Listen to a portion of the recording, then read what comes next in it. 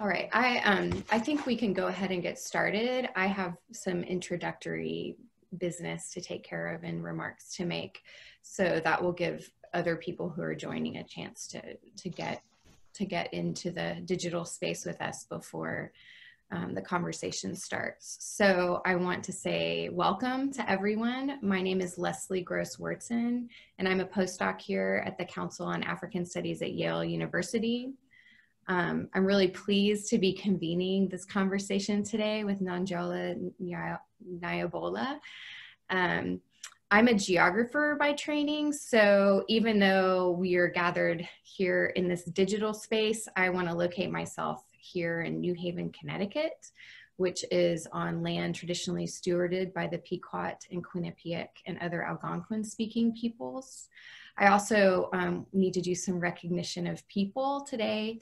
Um, Michael Cappello, the um, head of the Council of African Studies, Kristen Siebert and Nora Langet, who are um, respectively the program director for the Councils of African Studies and Middle East Studies and um, program coordinator for African Studies, have done a lot um, on the back end to make this happen and are going to be helping out um, again on the back end with fielding questions and keeping me on task for the most part. Um, so they're in the building here somewhere, although we don't get to see each other, uh, and um, we'll be avidly following this discussion.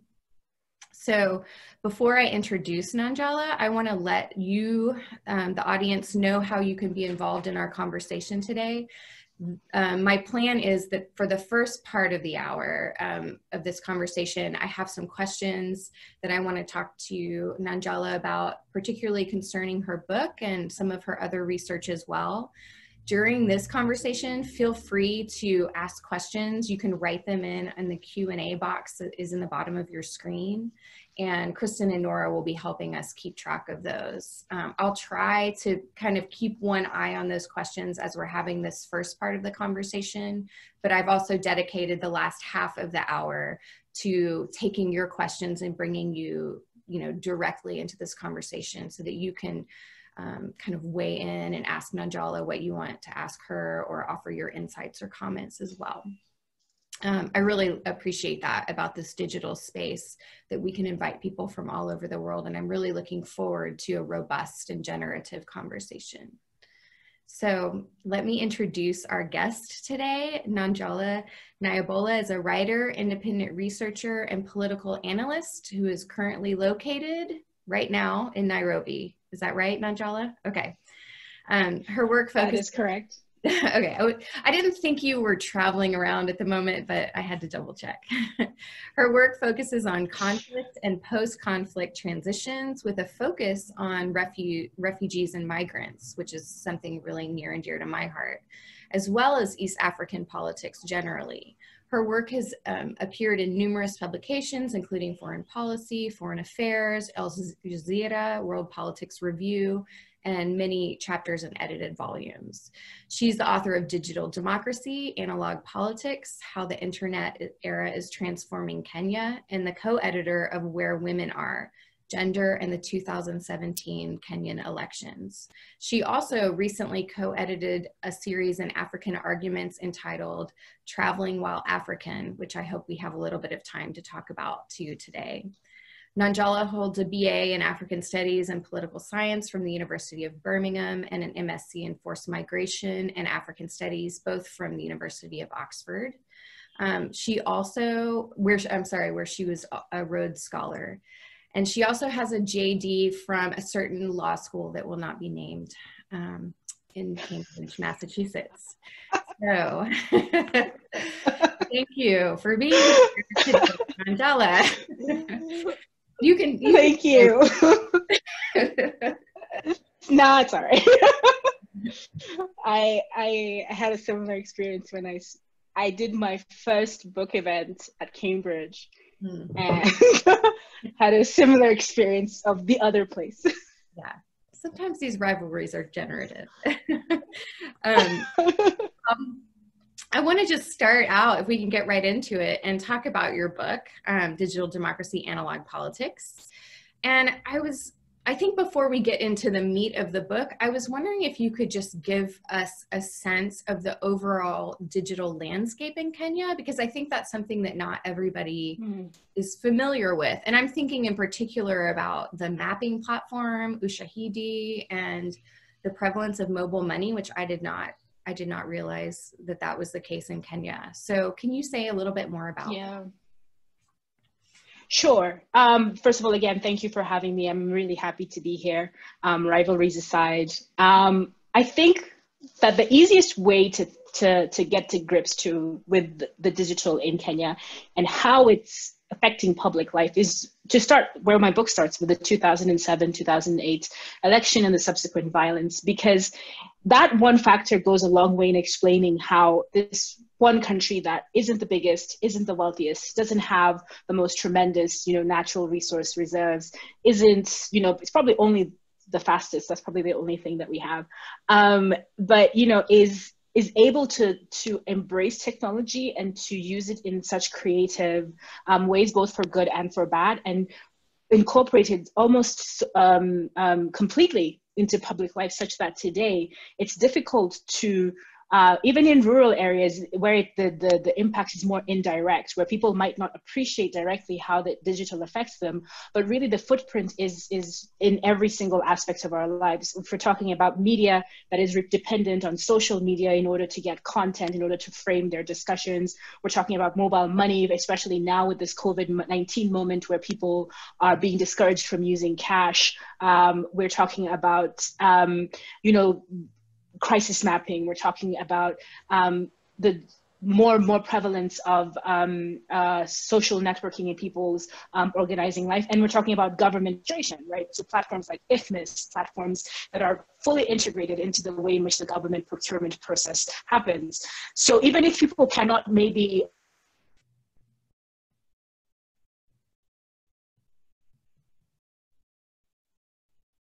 So Nanjala is having has been having a little bit of um, connectivity issues, um, but she usually comes back. So let's give her a minute.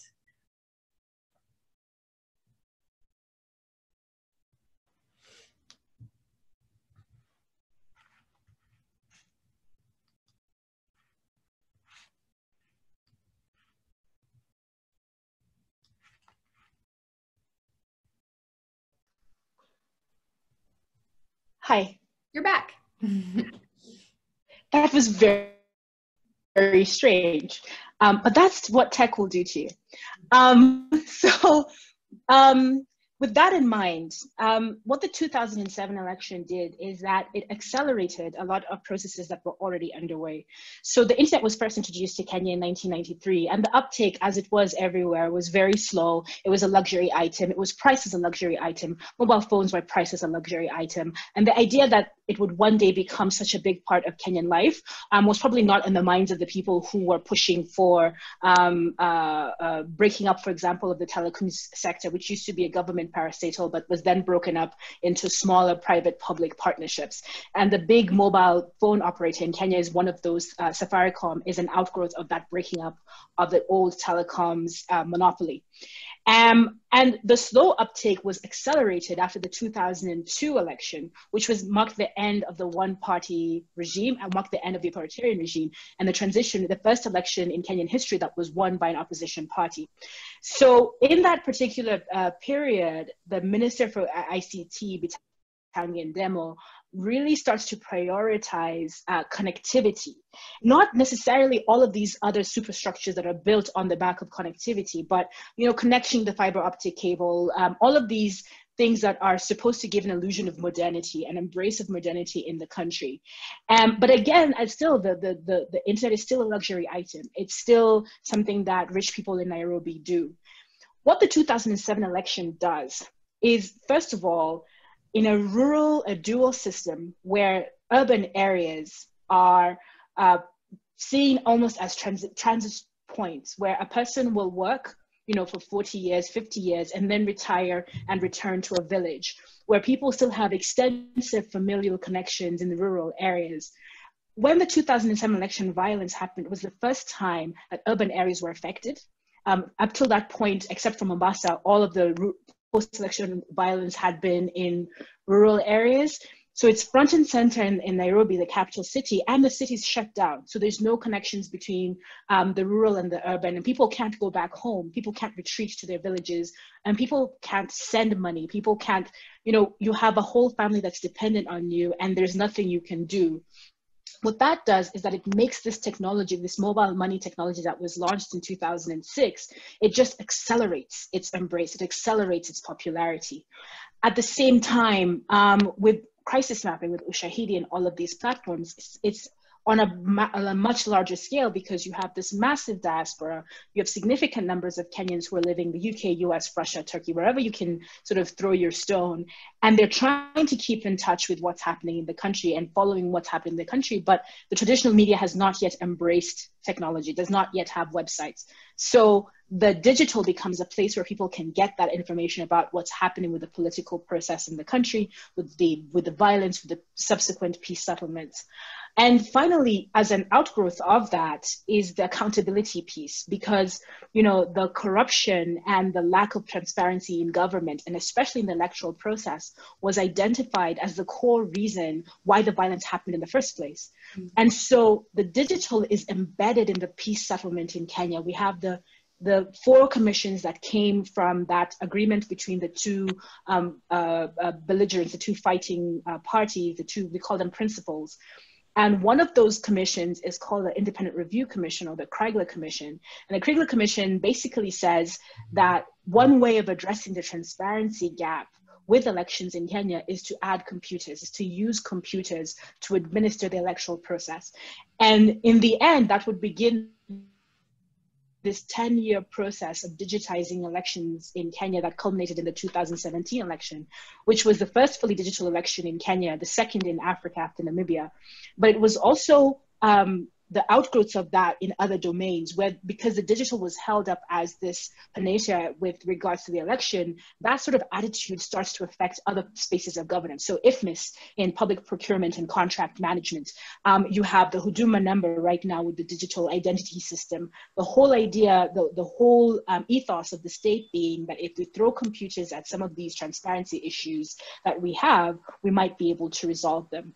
And so that's where Kenya is right now. It's that um, ICT, um, tech more broadly, is seen as a way of resolving age old questions about governance and the relationship between the citizen and the state and the relationship especially around elections how to resolve what have always been you know we talk about the post um, KANU era, 1992, but really con- elections in Kenya have been fraught since 1952, 1957, sorry. And um, trying to use the digital as a substitute for a lot of more um, normative things like trust and transparency and uh, community and there's good and there's bad and and there's things that are still up in the air um, the good you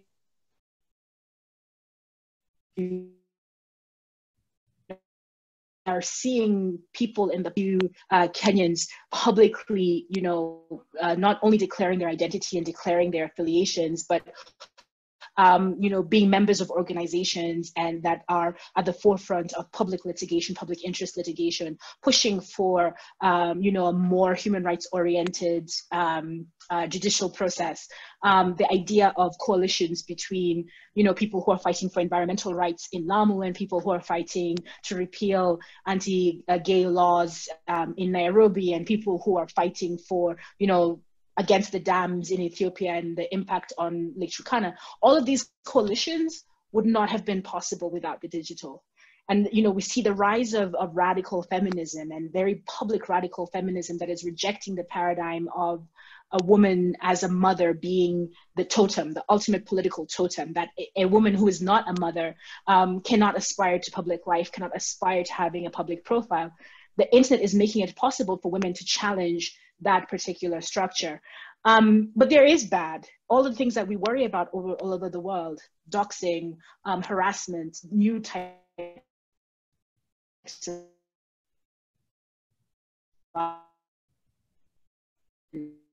new types of um, about surveillance, private capacity to understand or to deal with.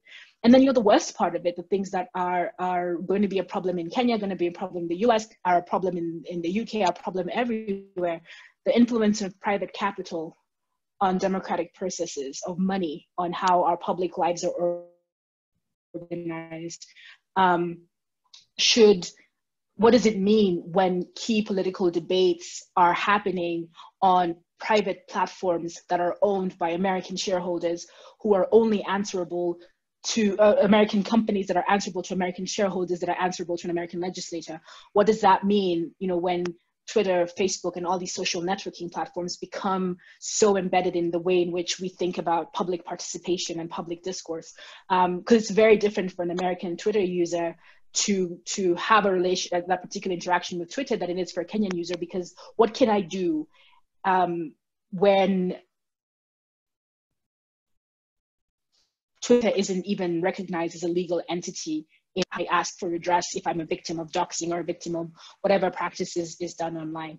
So that's just the broad lay of the land. It's it's you know a little bit of of the big question that I always uh, sort of I'm stuck on, and I want people to really think about is how do we incubate the good, right? Um, really honestly confront the challenges. And that's the question that we're grappling with in Kenya today as people everywhere. Yeah, yeah. Um, I just as an aside, as you were speaking, I was seeing a lot of parallels to the way we treat technology and education, which is something I'm really sensitive to now that all the education is online and some if we just get the technology right the education will be fine you know and um and not really interrogating um, who's making these platforms for what purposes what sorts of pedagogies are being transmitted and um, anyway that's mm-hmm. that's speaking from my mm-hmm. particular uh, schooling several children at the moment um, thinking about those questions on a smaller scale um, but i so i think you did you within that discussion you really captured a lot of the themes and sort of messages of the book um, particularly in thinking about technology like you said as not neutral right? It has possibilities but it also has constraints. There's a lot of forces trying to capture it for various purposes. Mm-hmm. and and that um, digital technology is an enterprise you know you really mm-hmm. emphasize you keep that as a through line as well. Um, mm-hmm but I was wondering, you know, if if someone on an elevator sees you and asks what your book is about, and particularly thinking about this sort of tension between digital democracy, analog politics, like what do you mean there? What are you trying to say with that? Um, what I'm trying to do is to recenter societies and individual individuals in the conversations around technology use around the world and technology in relation to politics. Because I think for the longest time, we were so focused on the structural that if we built the tech, you know, everything is going to be fine. And we took the normative out of the conversation. And more importantly, we took the people out of the conversation. Many of these technologies are built in abstraction. They're built by people who maybe don't spend, you know, three years thinking about political theory and don't spend, you know, four years, five years thinking about uh, um, normative ethics and philosophy and all of these things. And, and less so even, you know, how is this going to play out in this African country that is not, you know, South Africa or Egypt or whatever. And what we've seen in the last 10 years, I would say, especially since the Arab Spring, but in many ways before that is the failure to think about individuals and societies in the way we uh, build and and um, uh, deploy technology is creating a problem or is, is compounding existing problems and creating new problems that the people who have the most power in this new reality don't understand and don't know what to do about.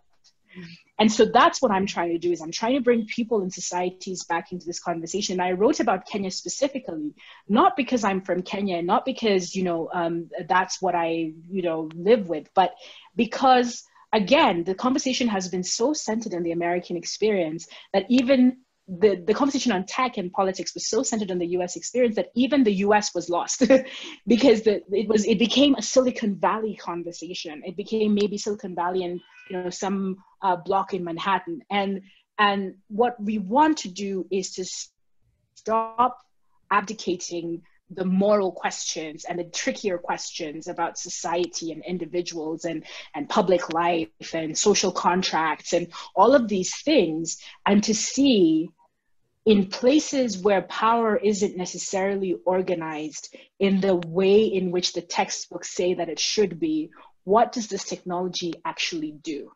And, and how does it actually uh, work? So that's really what I'm trying to do. Yeah. Yeah that's great i mean i think you do it and i think it's it's com- like you you chart a complicated you know path like the part of I, I appreciated the complexity that it's not just a binarist tension you know between mm-hmm. the state and, and society or something like that but there's a lot of actors um, with a lot of interests right? Uh, um, and and also a lot of cap- a lot of capability and a lot of um, yeah. yeah. And and and capability that they don't know a lot of them don't even know that they have. I mean i go to a lot of meetings with tech people um, and what i always get from these conversations is that a lot of times they don't even know that they have the capacity to affect political processes the way that they do. So a great example is this report. There's a report that just came out from Vice yesterday, which was about hate speech in Ethiopia. But those of us who have been working on these issues raised the flag on Ethiopia last year, year before last, because what has happened is in the absence of a robust uh, local like the internet ethio telecom is a monopoly it's run by the state it's slow it's inefficient it's you know riddled with all of the issues that you would expect from a giant um, um, monopoly that has very little accountability you know in an authoritarian context and with the, what has happened for a lot of people is that Facebook became the primary way through which they were able to connect to the internet. And a lot of opposition media, opposition um, uh, uh, at the time. This is before the the the, the church.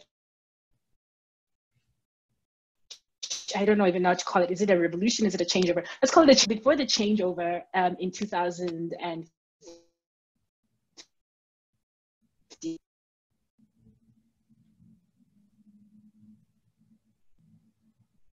and uh, accounts to get of last year one of these outlets well, first before that, people lost, had been. We lost you for mm. a second. So you were saying um, before the revolution or during the revolution, the changeover. Yeah, let's call it a changeover. Um, the red, the the analysts were raising the flag that underneath the veneer of this.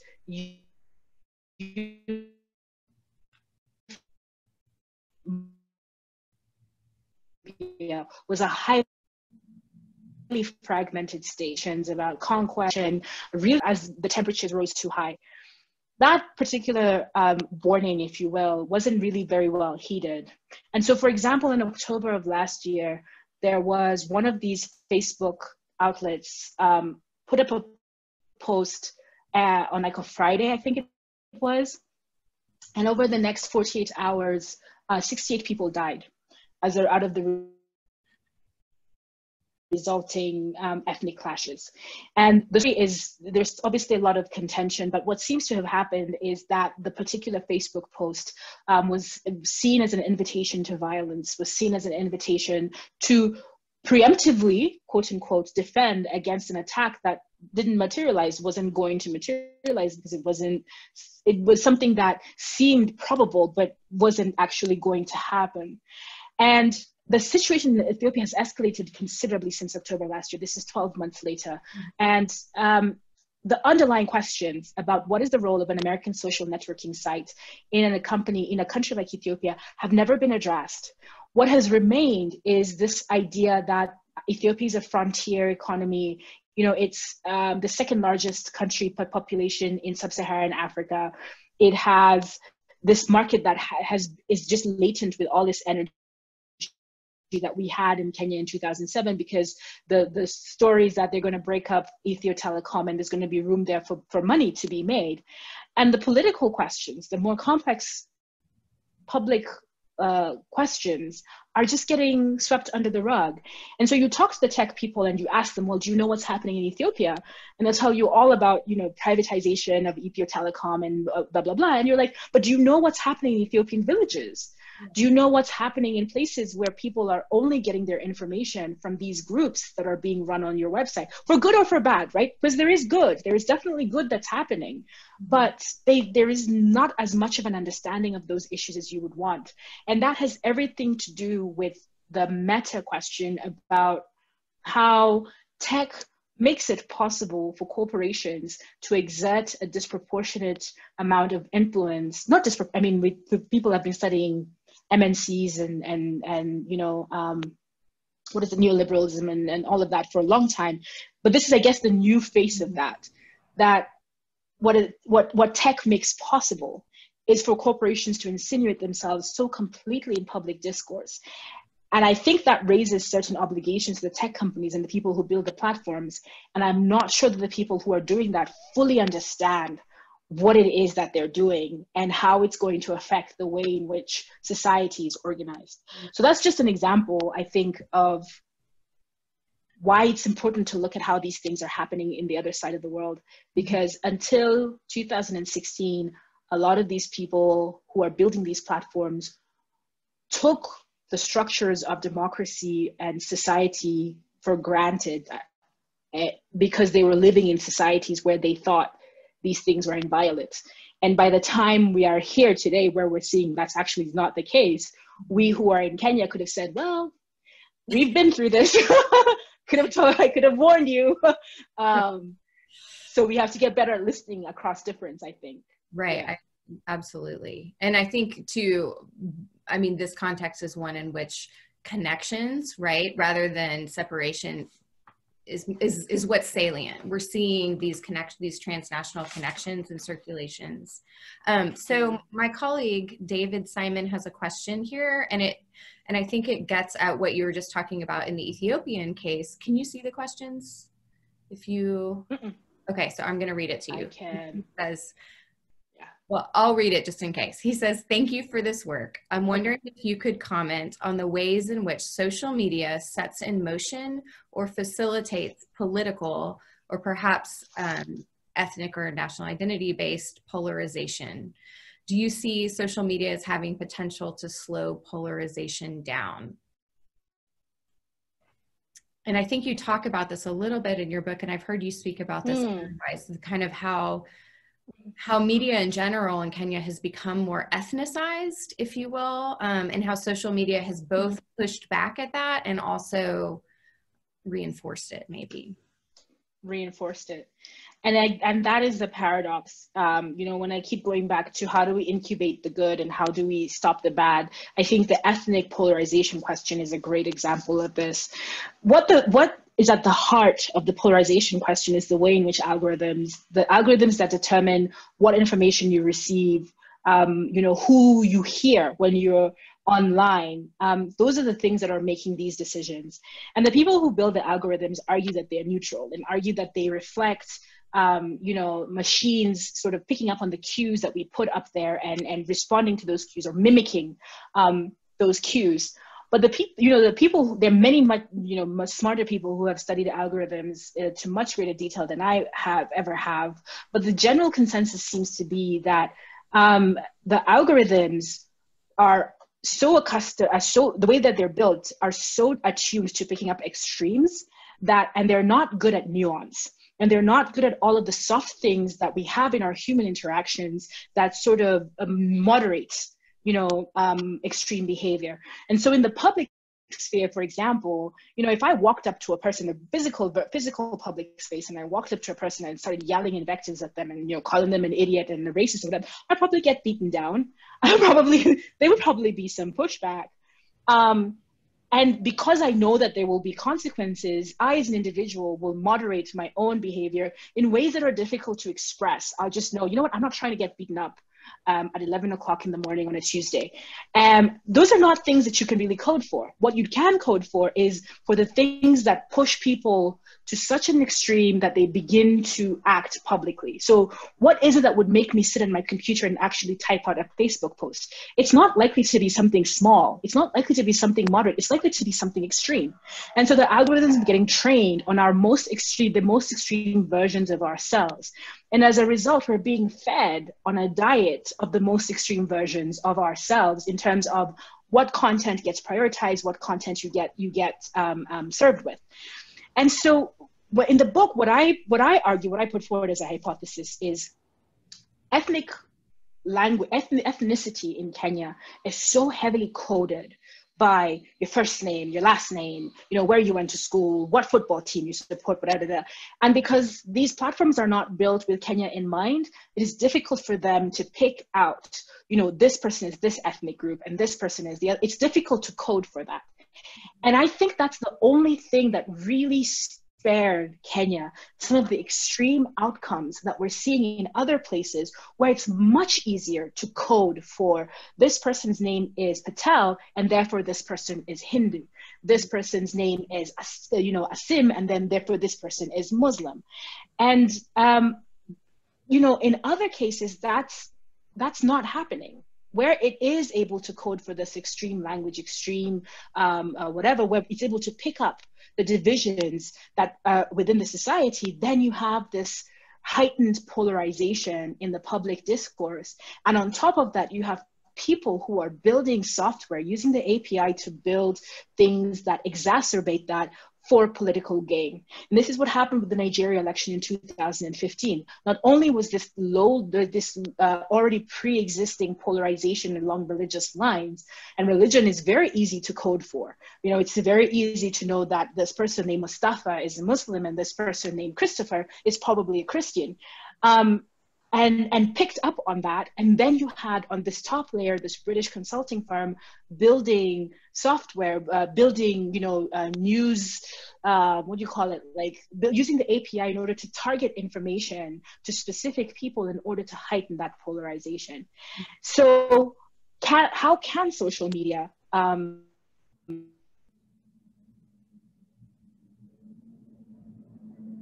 you know i think to get rid of or to yeah I, you know to get rid of the the um, the more extreme versions of these algorithms. You know because i again i'm not a techie and i don't necessarily know the specifics of how this would work but i remember what i was one of those people who was on facebook when it was still just college students who could be on it and you had to have a university address to be on it and i remember the you know the big problem then was that you were getting too much information it was like so and so had a sand- avocado sandwich for breakfast. Okay, I don't care. I don't need this. And so the algorithms were supposed to help us um, get only the information that we need so that we could spend, because people, when people had too much information, they stopped spending time on the website. They were like, it's too much information. I'm wasting too much time. I got to get off Facebook. So the algorithms are designed to get us to spend more time on the, on the website by only interacting with information that responds to our biases, our predispositions, and all of you is there a world in which a social networking site says, we actually don't care about the advertising revenue, we actually don't care about, you know, we actually just want you to have productive political conversations with does that mean that we need social networking sites that are public utilities that's another question that's been floating around in a lot of these conferences does that mean that we build a social networking site that's funded by taxes you know these are some of the the the broader questions that I think um, people are starting to grapple with that would sort of answer that question. That, you know, I, I like to emphasize that this is social media, especially social media, but tech, but social media especially. This is social media version 4.0. So there is no reason to believe that there can't be a 5.0 that corrects for all of these issues. You know, just like Twitter and Facebook corrected for all of the issues that we had with Friendster and uh, what was that other one? Um, oh gosh, I'm blanking. But you know, AOL, you bought the, yeah. the MySpace. That's the one. MySpace. There's no reason to believe that there can't be a 5.0 that does all of this stuff better. But in order to get there, people have to understand the problems that are happening now. And I think where we are right now, unfortunately, is not at resolution. It is at, whoa, we need to understand what's actually happening. Yeah. Yeah. That's, yeah. I hear you. Um, uh, I have more to say to that, but I'm going to move to the other question.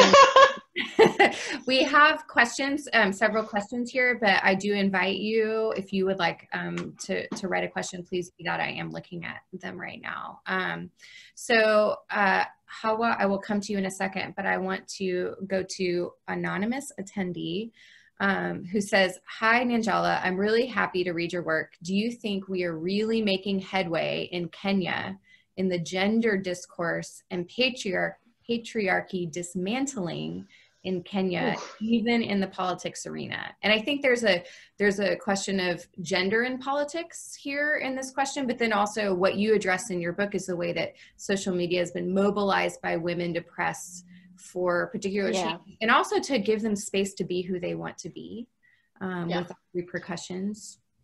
Yeah, I think one of the main reasons why the book has a 10 year arc as opposed to this is where Kenya is right now, is precisely to keep perspective. I think when you're in the throes of a struggle and when you're in the throes of a social issue, it's very difficult to believe that progress is being made because you're always seeing all of the work that still needs to be done. And there's definitely a lot of work that remains to be done with regards to gender issues and regards to women's participation in politics in Kenya. Like there's so much stuff that still needs to be done.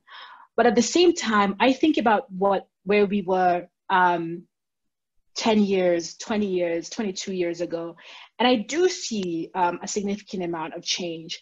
And a lot of that change is coming from women being able to, or people who identify as women being able to publicly own their identities and to be um, uh, in opposition to the dominant narrative and to claim space to articulate a different way of, of being feminine in Kenya.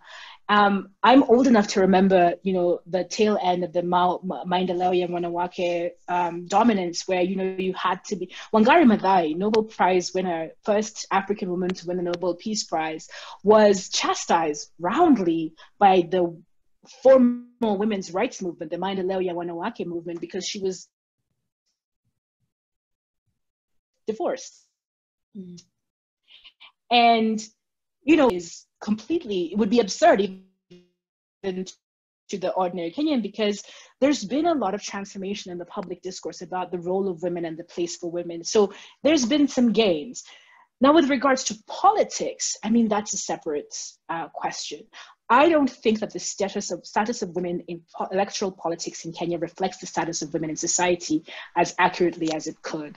I think that politics, because it has become this all-consuming point of you know if you want to have a successful business become a politician. If you want to have a successful um, uh, you know anything become a politician. If you it's it's everything is so oriented around it that the stakes are incredibly high.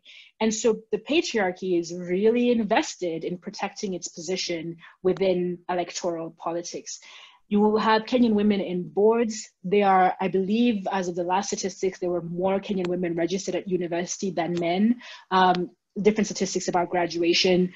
Um, most of the small medium enterprises uh, in the country are owned by women we're talking about the women who sell vegetables you're talking about you know um, so it's not what's happening with the electoral space is not necessarily fully reflective of the gains and the losses that women have made in other aspects of public life. That does not negate some of the big overarching issues. Um, and the one that I keep coming back to is the example of domestic violence, which remains, to me, to my mind, my assessment, it's the most pervasive form of violence in the country. Um, according to the Demographic and Health Survey, uh, the last Demographic and Health Survey, 40% 49% of all women over 40 in Kenya across ethnic lines, uh, every single region in the country have been a victim of domestic violence. It's the only type of violence that does not discriminate on class, does not discriminate on uh, geographical location or ethnicity, etc. And so all of all of which is to say that I think with perspective, you kind of start to, if you take a 30 year arc as opposed to a five year, you know, from this election to this other election arc, you see that there really has been some movement, but absolutely it's not, we're not done. There's still a tremendous amount of work that needs to be done. Right. Yeah.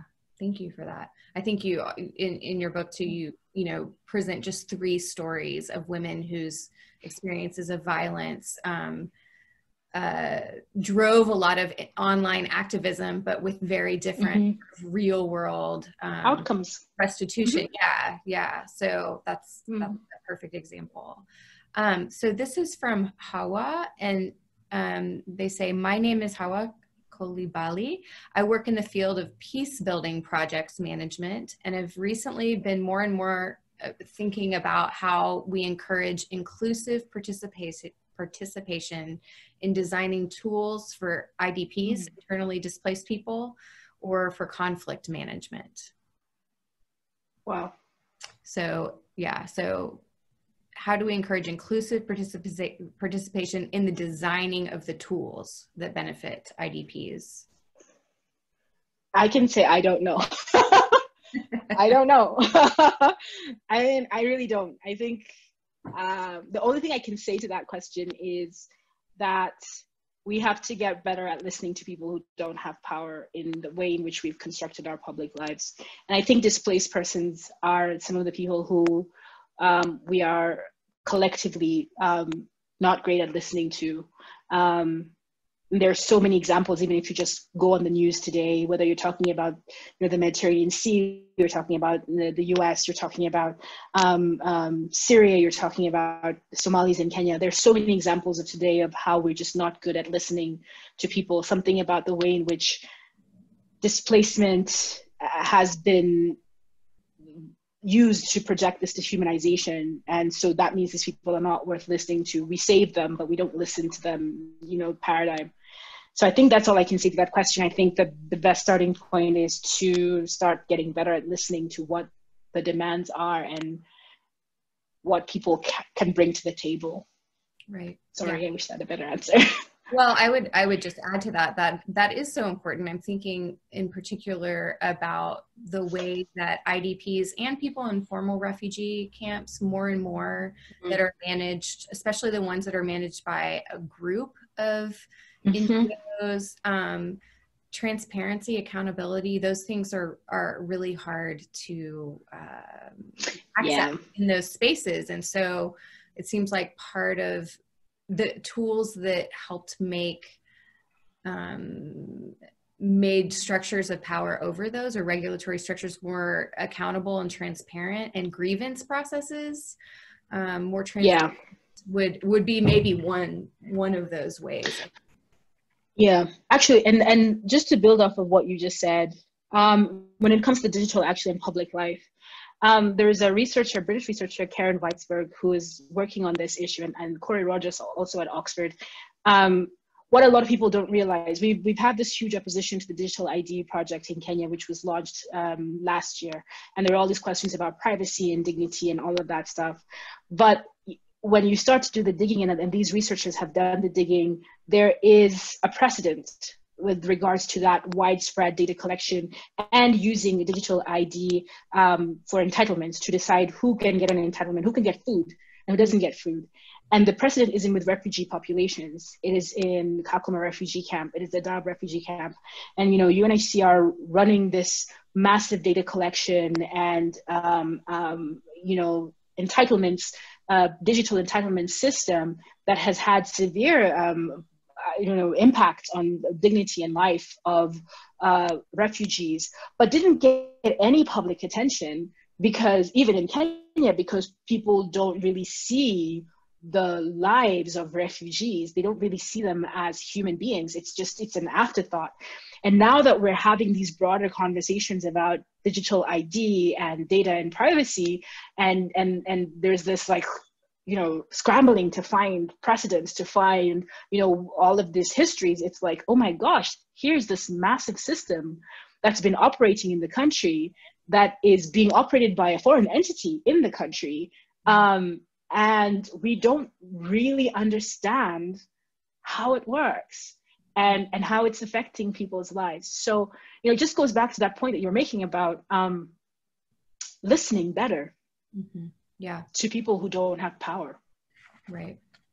Um, well i think you talking in particular about sort of this data harvesting this um, wild west of you know or free market of, of of data harvesting that's happening right now. Um, Mina has a question and she says she, she i think says ahead of transnational elections in kenya what safeguards can be developed and used against weaponization of social media in the way that cambridge analytica did in 2017 2018 and others are planning to do even as we speak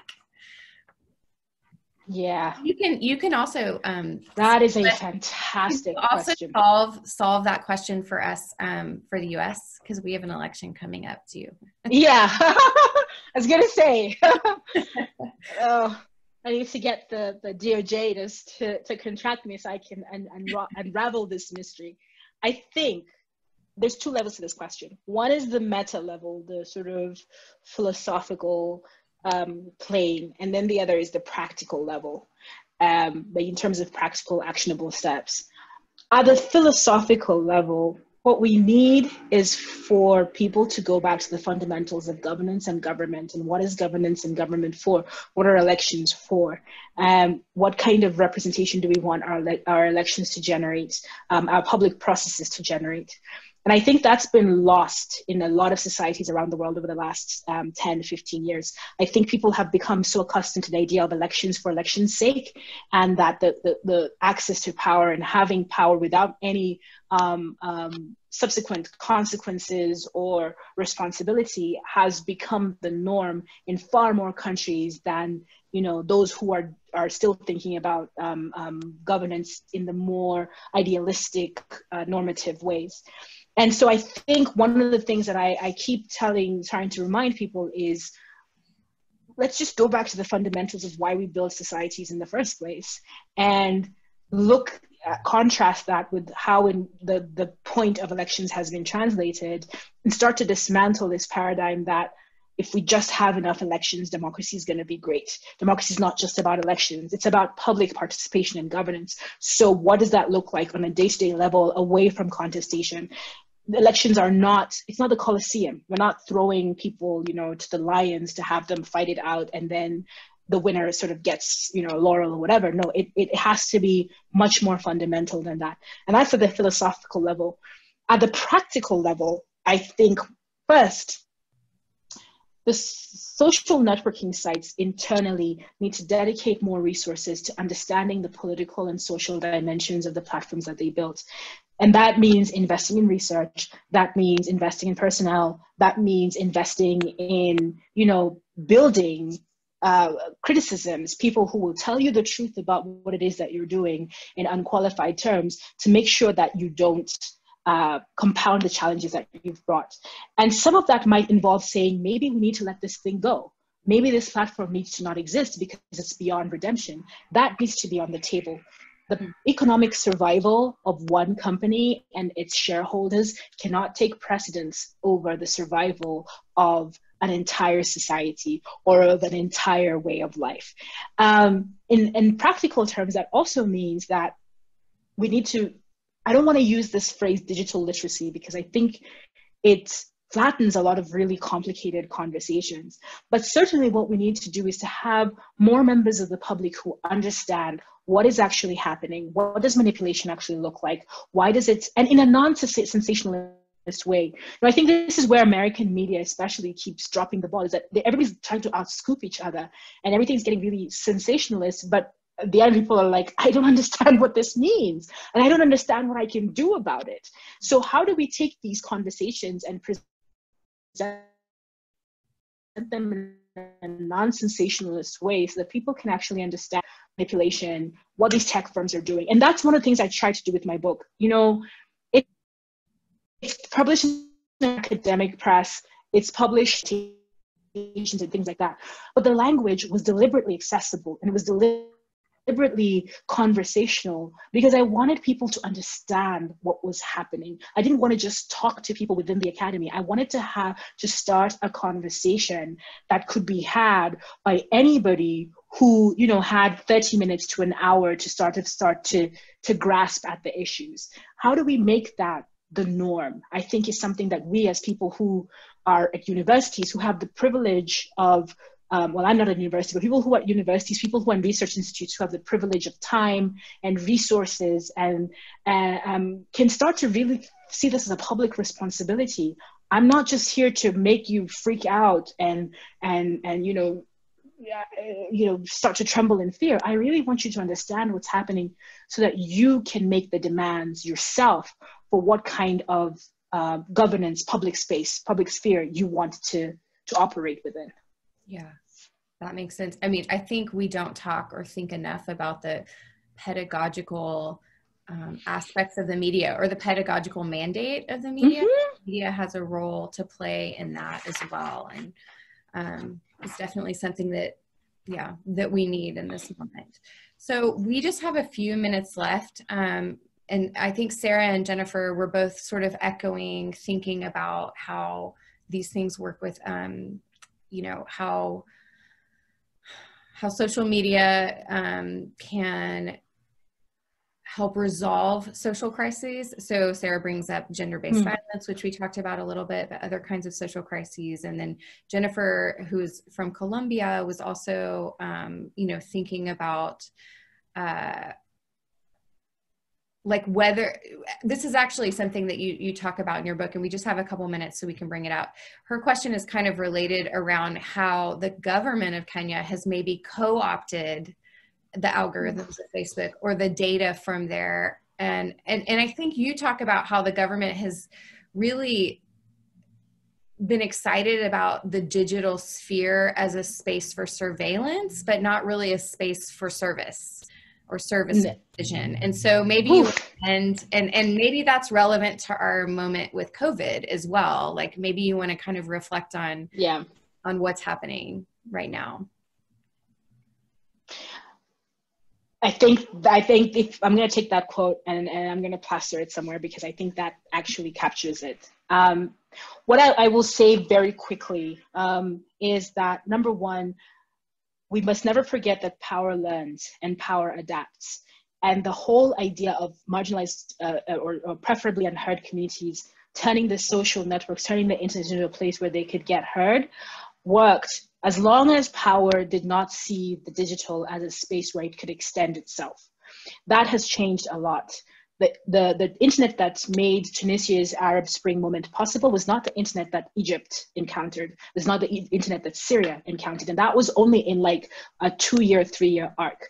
So people have to appreciate that whatever uh, governments are learning, power is adapting. And so we can't always work on the presumption that they're, they don't understand and they're never going to understand what's happening and everybody's that the same contours of marginalization and exclusion that we see in the offline are not going to eventually replicate themselves on the online unless there's a deliberate in, uh, effort to keep and preserve you know dignity of minorities the dignity of uh, women the dignity of people who have relatively less power on these online spaces